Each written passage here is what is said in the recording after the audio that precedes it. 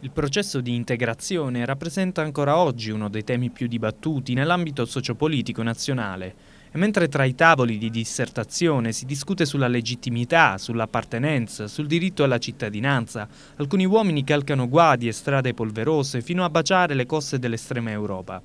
Questa mattina Agrigento ha teso la mano con affido festivo, aggiungi un posto a tavola, iniziativa promossa dall'amministrazione comunale e l'associazione culturale Acquarinto, in collaborazione con la Caritas diocesana.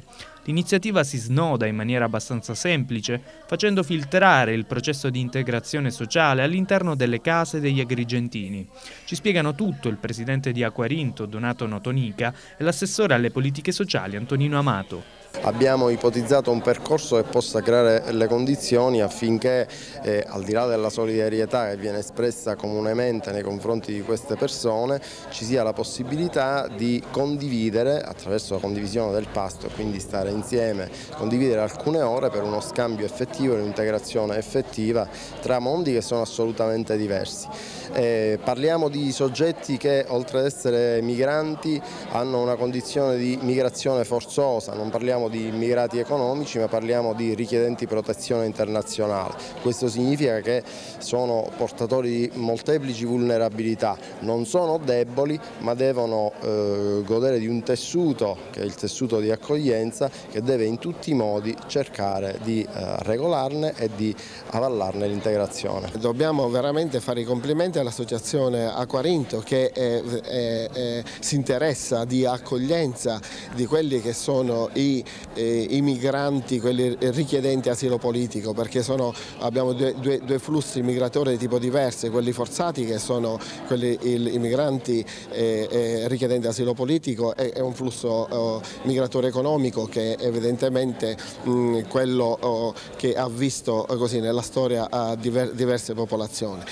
È importante, dicevo, eh, si tratta di un progetto nel progetto perché questi ragazzi che vengono accolti e che stanno nelle loro stanze, che hanno degli standard molto, eh, molto, molto particolari, molto, molto ordinari, adesso finalmente hanno la possibilità di essere accolte dalle famiglie eh, degli agrigentini.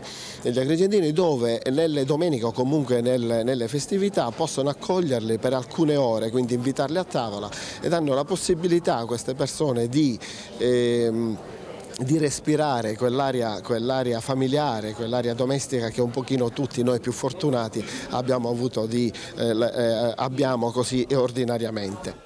Le storie e gli sguardi dei destinatari dell'iniziativa, titolari di protezione internazionale accolti a valere sul progetto Sprar Tarik, fanno da cornice alle parole di Domingus, ragazzo fuggito dalla Guinea-Bissau prima e dalla Libia poi, fino a giungere sulle coste agrigentine. Sentite bene Italia, il giorno che ho arrivato qua grazie a Dio e ho fatto qua un anno e tre mesi, è come quattro mesi, scusa, quattro mesi con comportamento italiano è buono, per me è buono, só per ringraziare italiani, ringraziare Dio prima cosa, ringraziare Dio, ringraziare gli italiani per tutti che fanno per noi stranieri, che rifugiati che rifugiati da Libia che fanno per noi e grazie per Dio che posso a, a benedicare gli italiani.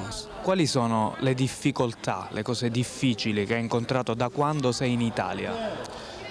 Eh, boh, difficoltà da, in quanto a Italia non c'è difficoltà per me perché... Ti trovi molto bene, abbastanza Io trovo molto bene. Per... La partecipazione è aperta a chiunque, basta possedere una sedia in più e una porzione extra di lasagne col ragù. E chissà che tra le nostre tavole imbandite, così diverse dalle loro, qualcuno riesca finalmente a sentirsi a casa.